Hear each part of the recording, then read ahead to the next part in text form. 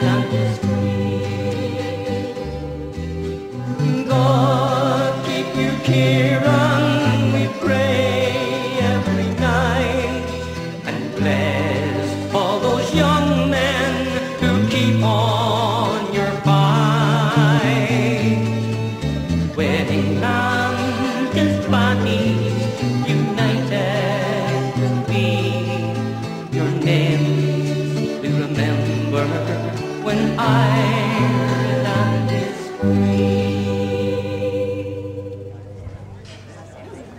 Kieran Doherty was a truly inspirational person, and you get that from talking to people that knew him, listening to his family, the way they speak about him, the way he conducted his life, the way he conducted his personal life, his life in the struggle, his life as a prisoner.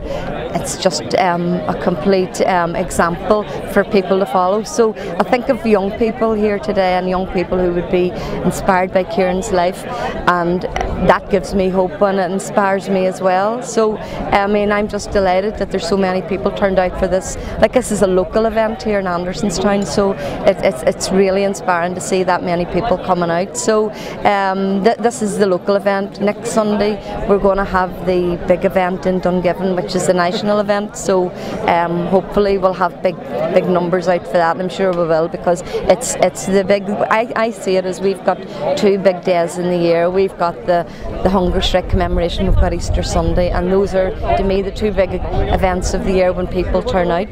We also um, are going to be welcoming shortly a group of cyclists who make an annual um, cycling trip um, in, in memory of Kieran every year.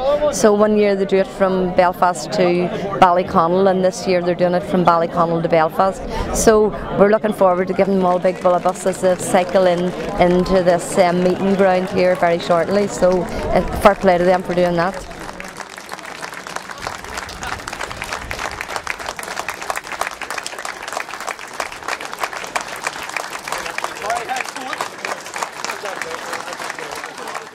Well, we, we, we took this cycle on seven years ago. As you know, Kieran was a cyclist on his day, and it was just something that we thought would start up and do once one year, just to raise money for the monuments and stuff. And uh, decided then after that, it was such a success that would keep it going. And uh, over the years, we've been cycling down to Ballyconnell. Uh, the boys and women in Ballyconnell have been very supportive to us and absolutely fantastic. So this year we decided to do it in a reverse and uh, come back to Kieran's Monument, you know. I'm sure the cycle home must be fairly well, poignant it's, for you. well, it is. It's a, it's a, it's an emotional thing when you get it done. You know, it, the crack's good, and all the boys there's good comradeship with them riding down, and the, we all have a good uh, laugh, and uh, it's, it's, it's a good bit of fun with it. You know, it's not all serious. You know, and Yeah. uh, we all enjoy it. You know. It's, uh, it's an honour and a privilege to be asked to chair today's proceedings uh, for in, in memory of Kieran and of course on behalf of the Doherty family. Um, just we, we have a, a guest speaker, Jennifer, here later on. But before we get to the guest speaker, there are a number of leaves that need to be led. If I can just call the, the, the people who are leading the leaves, uh, Belfast Brigade first of all, please.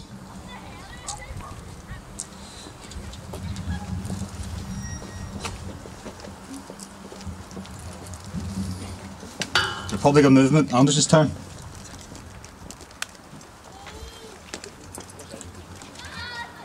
Ballyconnell Memorial Committee.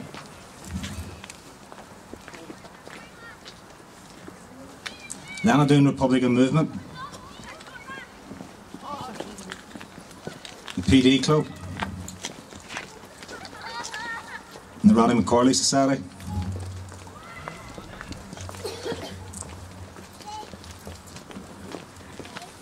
Anders's Town Sinn Féin. And f- Annie from the family.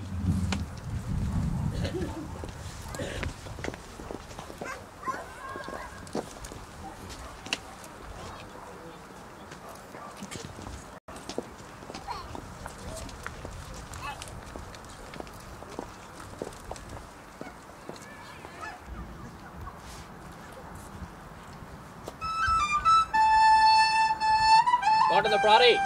He's the Brody.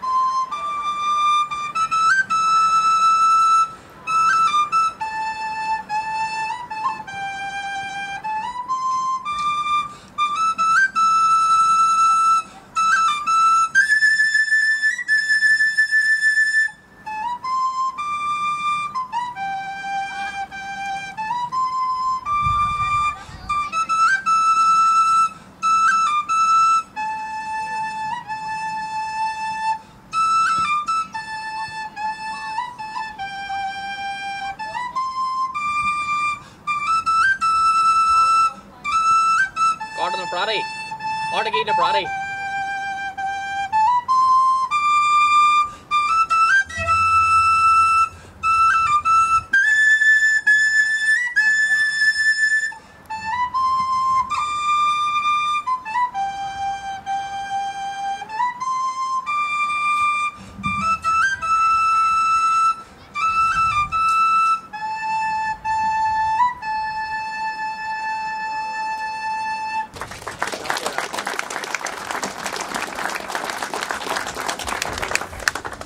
Once again, uh, we're celebrating here uh, outside the Doherty family home.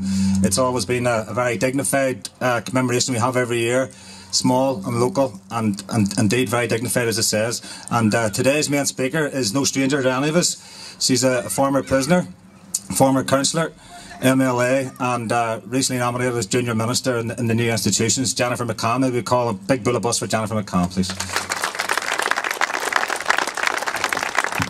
Okay, Gorma, good evening. Um, a carta agus uh, uh, a comedy agus a clan Doherty.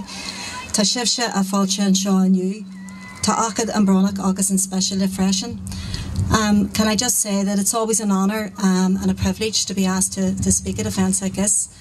Um, I know that, that I mean most of you here um, when we come to, to come to events to honour our our comrades, our fallen comrades, um, particularly events to honour the hunger strikers.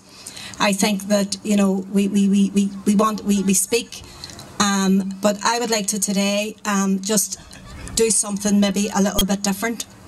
I just want to, because I never had the privilege of knowing Kieran uh, personally, but I feel as if I've known him because I know, like other comrades in uh, in this crowd today, when we sat in, uh, or when we were in the H blocks in an Armagh jail during those protest years and those dark days of the hunger strike.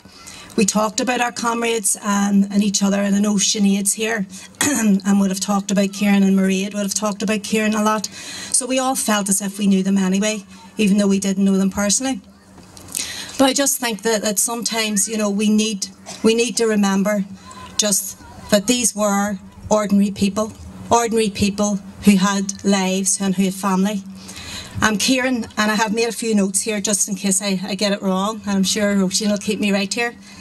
Um, Kieran was born in 1955, and he went to local schools here. Um, he had a, a, love of local, uh, he had a love of sport um, when he was growing up as a child.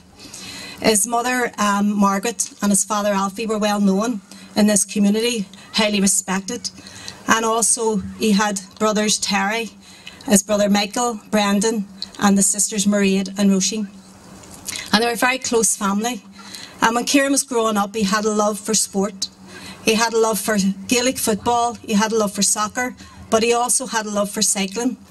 And that's testimony today. This is the seventh time this cycle has been done. And his brother Terry today has done the cycle and he's did it today again. And it's testament to his love for cycling that his, his family and his, his friends do it every year. They cycle from either here down to Ballyconnell or vice versa as they did this morning. And that's because Kieran was elected as TD when he was on hunger strike in the H blocks as a Cavan Monaghan TD. And it's worth remembering, I mean, even for all of us standing here today, he got over 9,000 first preference votes during that election. So as I said, Kieran grew up here in Andersonstown. And from by the time he was 15 in 1971, he had seen internment come and go. And it affected his family very uh, uh, closely as well because two of his brothers, Terry and Michael, were both interned. He saw the brutality of the British Army and the RUC on the streets at first hand also. Two of his cousins, Maura Meehan and Dorothy Maguire, were both shot dead in the back of a black taxi on the Falls Road. So he was no stranger to the brutality at first hand, even at a very young age. And people say, you know, and I get sometimes people saying to me, what made you join the IRA? And when we look back and we, we see, we see the times that Kieran was born into at a very young age. Kieran Doherty was first arrested from his family home when he was only 16 years of age. And can you just picture it, 16 years of age, a child being arrested, being taken to a barracks and being interrogated in the way he was uh, by, by British soldiers and RUC. And he was only 17 years old when he was interned in Long Kesh concentration camp. So he was 17 years of age and he was there until November 1975. And he was only out a number of months when he was back, he went back to jail again to do 18 years. And in no short period of time, and this is something, as I say, that, that I had heard about him, because during one of the operations that he wasn't captured on, on the outside, one of his comrades and friends, John McDermott, was shot dead and Mairead Farrell, who later was shot dead in Gibraltar, she was actually arrested in that operation. And when, you know, when I talked to, as I said, to people that know him, he was a very highly respected, unassuming big fella. That's why he got Big Doc because of his height. And I mean, he really, really, you know, he was he was a person who had life to live, his whole life in front of him. So went into prison at, this, at that young age, and then he witnessed and suffered at first hand the brutality of the H blocks of Long Kesh. And I looking around again and I see faces here that went through it. That they the people here that knew it went through it. And I think it's very, very important that we do tell our story about that. There's women here from Armagh prison as well.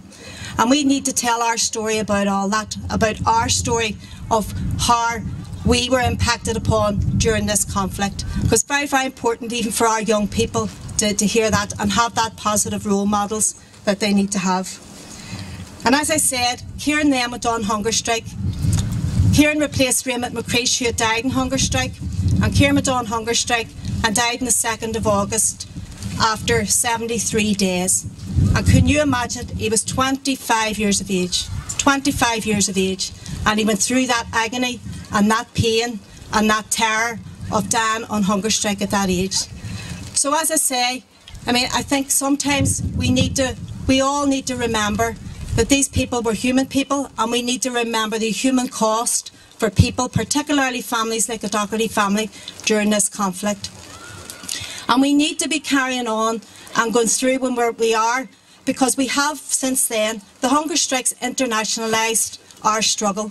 It put, us, it put the struggle centre stage, and there has been a long road that has been travelled from then till now.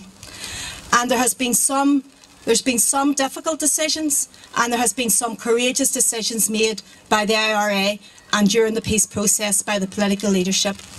And I think it's very, very important that we go forward and continue that struggle that Kieran and his comrades died for. And I just have to say, even from a personal perspective, comrades like Kieran Doherty and the other comrades that I have seen die during this conflict are never far from my mind, and I know they're never far from all our people's mind, and no matter what we do in the political process now. And we need to move that political process forward. We need to remember our fallen comrades, but we also need to move it forward. We need to go together in this new partnership. We need to go get together for our young people.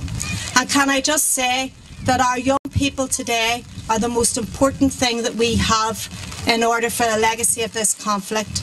Because I have young children now, I have young teenage children who were only Kieran's age when Kieran was being arrested, when Kieran was being brutalised, and we all have, and we don't want any of our young children or our young people ever to go through what we had to go through. And there is a new way, there's a different way, and we can do it.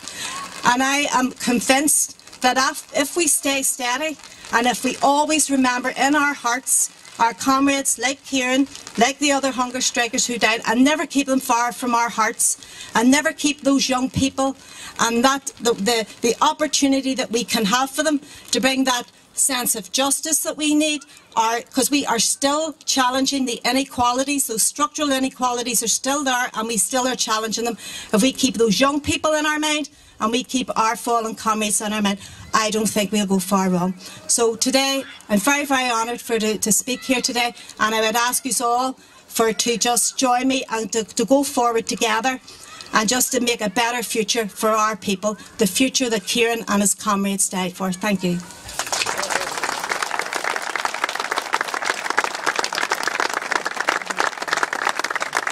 Jennifer, Cormila Maggot. Uh, just uh, next to call up is uh, Kieran's brother Michael to say a few words. As, as we approach the 31st anniversary of Kieran's death, on Thursday the 2nd of August after 73 days in hunger strike in the H blocks of Long Kesh, I would like to thank everyone present here this afternoon, paying tribute and honouring him and, and his memory. We must of course always remember and honour everyone who gave their lives for Irish freedom, especially the volunteers from this local area who were friends and comrades of Kieran. The sport shown here today is very heartening and gives our family great comfort and for this, we uh, thank you from the bottom of our hearts. Due to failing health, our mother is un unable to be here today, but sends her love and best wishes to everyone. I would also like to say a big thank you to everyone who participated in the cycle from Ballyconnell to Kieran's Monument here in Commedagh and to anyone who helped in any way towards its great success. 31 years have passed very quickly and it seems like yesterday when we were gathered round Kieran's bed in the hospital wing of the H blocks and then carried him up Commedagh Hill to his home. He was carried by his family, friends and comrades, home and free at last after years of imprisonment and suffering, and there's not a day passes that we don't pray and think of him. When I reflect in the wake of the 31st anniversary of the 1918 hunger strike about the horror of the H blocks and the ultimate sacrifice of Kieran and his nine comrades, giving up their young lives for the sake of their comrades' justice and the real and tangible love for their Republican values, I am truly humbled. In a column to our parents in 1981 in May, from Kieran he wrote, the British government has shown again to the world its callousness and vindictiveness towards the Irish people. The hard attitude of the British and the deaths of our comrades only serve to strengthen our resolve. We have no intention of surrendering our principles. I was invited on behalf of our family on the 17th of November last year to unveil a specially commissioned painting featuring the 300 hunger strikers, Kieran TD for Cavan Monaghan, Bobby Sands MP for Monaghan Tyrone and Terence MacSwiney TD for Mid Cork, all of whom were elected representatives of the Irish people. The painting now takes uh, pride of place among Republican images and hangs on the Sinn Féin corridor in Leinster House. Kieran was our brother when we all played together in the field behind me here. Uh, we never imagined that in 2011 he would be, along with Bobby Sands and Terence MacSwiney, be immortalised in this way at, in such a historic event. Kieran was the bravest of brave, and although he suffered greatly, he never complained and was always in great spirits. He was the greatest brother in the world, and we are very proud of him. Kieran always emphasised he did not want to be taken off the hunger strike until all the five demands were met, saying the fight for political status was not just a fight for the five demands, but was a fight for the future Republican struggle against the British. They want to destroy us. The people of Cavan Monaghan who elected Kieran as their TD never had the opportunity to meet Kieran, but in those last days of his hunger strike, he spoke to us about the great people of Cavan Monaghan. I'm sorry he never managed to meet them. You didn't know Kieran, but he knew you. Kieran was as proud of you all here today as you are him. He'd be also proud of what has been achieved to date and of our leaders in this new political phase of the Irish struggle. Kieran was undoubtedly continue to inspire us and keep us on the path towards a united, democratic, peaceful and inclusive Ireland. Kieran died peacefully late on Sunday afternoon, the 2nd of August 1981, surrounded by his heartbroken and loving family. And just to finish, in a comm Kieran sent out to his parents during the hunger strike, he wrote, It's not those who inflict the most, but those who endure the most who shall conquer in the end. Thank you very much. Thank you, Jennifer. Thank you, Stephen.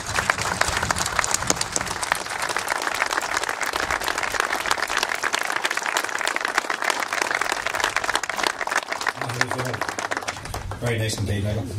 Um, just now, then, just we, we asked for the, the, the, colour party to fall out. It's the Mairead Farrell uh, Republican Youth Committee. Part of the party. Ira. Part of the party.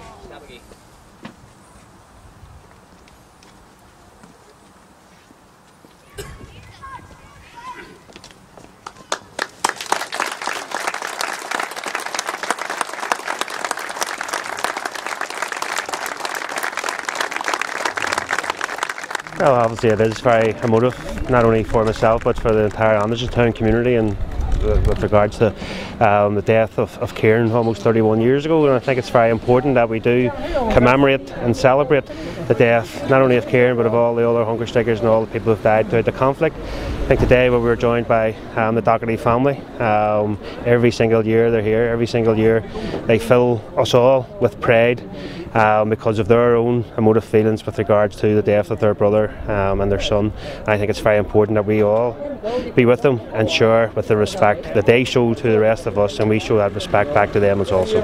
I just think you have to look at the, even the coloured party here today, made up of the Mairead Farrell Youth Committee and I think as you look at them, how active they are within community politics, they are out on a daily, day and daily basis working for our community and I think that's very important. So people like that show leadership. We've all have to show leadership with regards to our youth from our areas. In fact, Jennifer McCann um, laboured very much in that in her speech today, and I think that was very important. So we have to work together, young and old, um, to make sure that all of our communities are a better place and a safer place for us all. And I think what we will see next week, next Sunday, um, is the, the large mobilisation with regards to the hunger strike in Dungiven. And I would urge as many people to attend that and to show their respect um, for the people who died on hunger strike back in 1981. I think it's very important, and I dare say that you will see large number of our youth there at that, again showing leadership and courage and walking the streets to commemorate the death of the hunger strikers in 1981.